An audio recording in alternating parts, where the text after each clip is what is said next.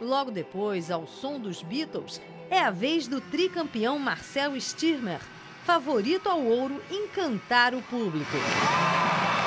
Mas até para ele, um dos melhores do mundo sobre rodas, acontece o inesperado. Numa série difícil, o patinador falha logo no início. Não se abala e mostra mais do que técnica e talento. Consegue se superar e muda pela primeira vez na vida a coreografia durante uma apresentação.